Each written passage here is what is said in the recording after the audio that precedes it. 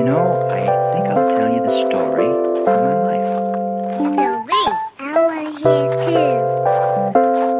I was born in Animus, North Dakota, a long time ago, see? And now I'm lucky enough to be here with you. Yeah, but what happened in between?